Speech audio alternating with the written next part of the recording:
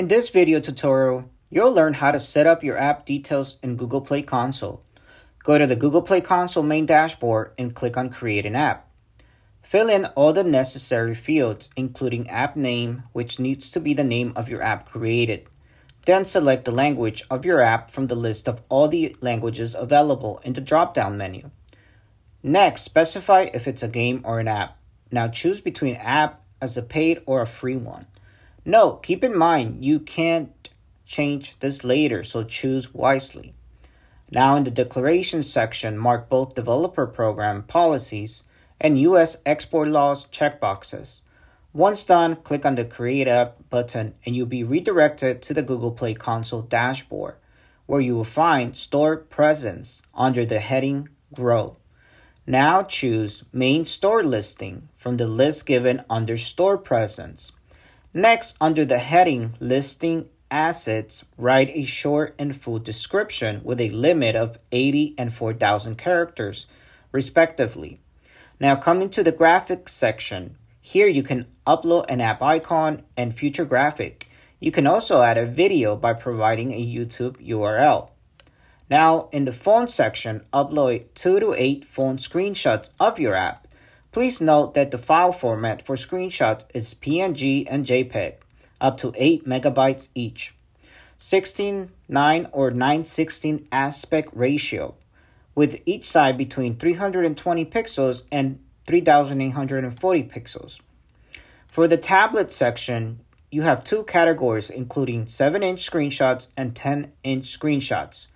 The file format and pixel size of the screenshots for tablets remain the same as the phone's screenshot. Next, if you want, you can upload the screenshots for Chromebook. Once done, click Save. Moving forward, search for app content from the drop down menu under the heading Policy and Program section. In this section, tick all the checkboxes of required declarations. Let's go with all the declarations needed one by one starting with the privacy policy. Click here, click on Start Declaration and add a link to your privacy policy URL in the given space with your app's name at the end of the URL. Please note you can get the privacy URL from the setup details step in the AppyPie's published app section on your AppyPie dashboard. Once you provided the URL, click on Save. Next, let's handle the ads declaration. Here you need to specify whether your app contains ads or not. If yes, then select yes, my app contains ads. Otherwise, click on no and then save. Coming to the app access section, here you must redefine whether or not your app functionality has restrictions. If it has, you need to define those restrictions further. If not, simply click on all functionality in my app is available without any access restrictions. Upon choosing, click Save. Next up is content ratings. Select Start Declaration and fill out a questionnaire form regarding your details for receiving ratings from your users. In the category section, add your email address along with the app category from game, social, or communication, or all other app types, and click Next.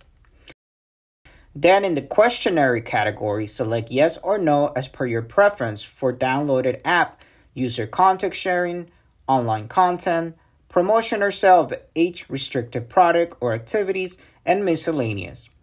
Miscellaneous has its subparts that need to be filled accordingly. Now click Save and move on to the next section. Example, Summary.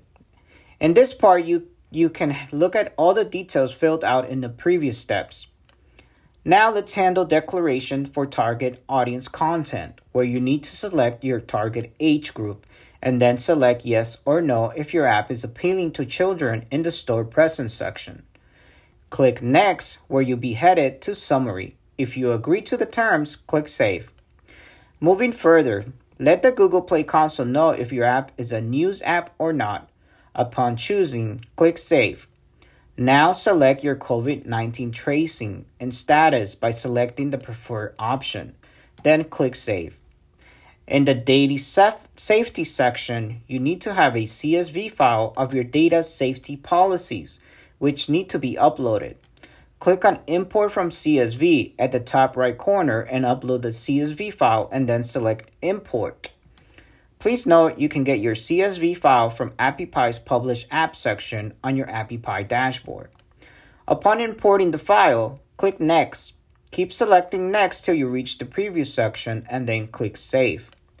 Coming toward Next Declaration, choose whether your app uses an advertising ID and click Save. Next, let the console know if your app is governed or built on behalf of the government by selecting Yes or No. Financial features being the last declaration requires to knowing if your app provides any financial feature. Select accordingly, and if it does not provide any future, then select My app doesn't provide any financial feature and click Next.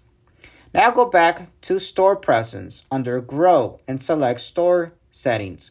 Next, click Edit and select your app category from all the options available and then click Save. Similarly, click Edit in the Store Listing Contact Details section and fill in the required fields accordingly. Once done, click Save.